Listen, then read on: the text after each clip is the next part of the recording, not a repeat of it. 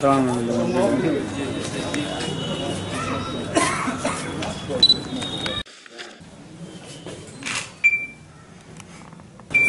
क्षेत्र में 26 अक्टूबर की प्रातः जब लोग जगे थे तो खेत के सिवान में जितेंद्र नाम के व्यक्ति की लाश मिली थी। वैसे उस समय जानकारी नहीं थी, लेकिन उसके पास मिले कागजातों से यह स्थापित हुआ। भुजौटी का रहने वाला था। उस घटना के समय त्योहारों के चलते और अन्य व्यस्तताओं के कारण विवेचक और हमारी जो टीम थी, उसको खुलासे में लगी हुई थी। संवेदनशीलता भी थी कि त्योहारों के दौरान भी इस तरह घटनाएँ हो रही हैं। आज उसमें सफलता मिली है और प्रभारी निरीक्षक कोतवाली श्री शिशि द्विवेदी और उनकी टीम के द्वारा इस घटना से संबंधित दो अभियुक्तों, रवि पुत्र संतोष निवासी, भिजोटी और उमेश पुत्र स्वामीनाथ निवासी, भिजोटी। इन दोनों को गिरफ़्तार किया गया है।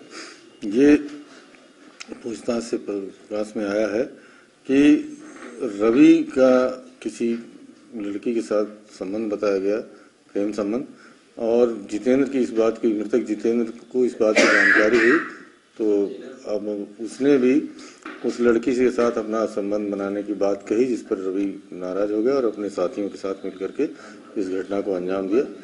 पुलिस के द्वारा इस खुलासे से जितेंद्र की हत्या की घटना का खुलासा हो गया है। एक अभियुक्त इसमें और है, जिसकी गिरफ्तारी के लिए पुलिस प्रयास, अभी वो थोड़ा दूर है।